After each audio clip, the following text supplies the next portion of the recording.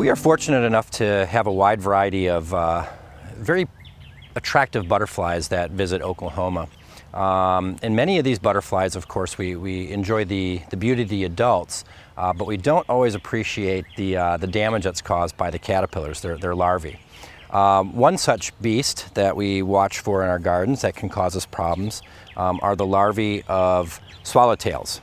And they come in a wide variety of different uh, colors and, and shapes and sizes. Uh, Sometimes they're oftentimes confused with the larvae of monarch butterflies. Uh, and the distinguishing feature um, you can tell is um, not only by the coloration and, uh, and, and, how they look, but also the type of food plant that, uh, that they're associated with.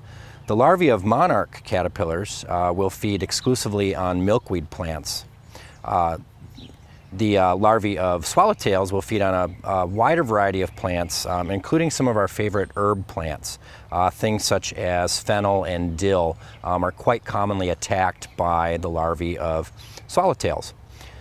And again, we're, we're oftentimes uh, more interested in, in, in, attracting the adults, but we don't want those larvae. But um, um, unfortunately, we have to kind of tolerate some of the damage caused by the larvae if we want to have those adults around in the landscape. So uh, one thing we can do is to allocate and separate out and we have to be willing to sacrifice a small segment of our garden, um, uh, including plants like fennel and dill, uh, for the purpose of rearing those larvae. Again, that's going to be more attractive to the adults having a place to lay their eggs.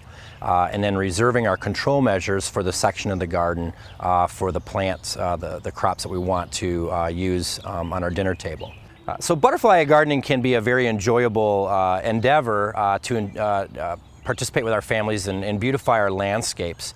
but we have to keep in mind that the larvae of those butterflies do need to eat, and so we have to provide um, a, a, portion of our, of our desirable plants as larval food sources for those butterflies.